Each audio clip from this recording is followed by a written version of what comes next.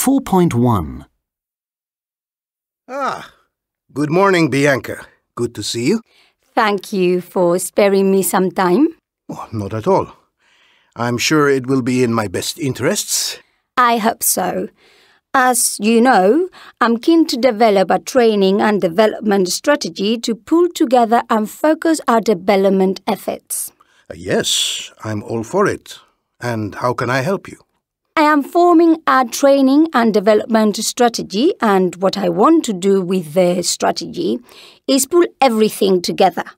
I like to start by setting it in some kind of context and look at the external and internal factors that have an important influence on the business. I see. Well, uh, things in the country are pretty good at the moment. Uh, in the external environment, we are currently enjoying a period of political and economic stability. Of course, being in financial services, tax and financial regulations are always changing and it's sometimes a struggle to keep up. I can believe that.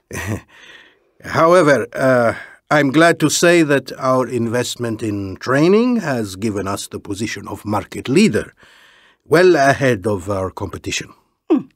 That's excellent, but um, to move on to internal matters, will that financial commitment continue?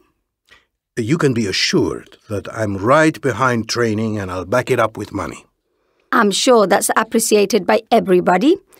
Often companies say people are their greatest resource, but it isn't always the case.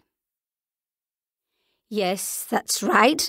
I'm going to make HR and training more self service to cut down on administration.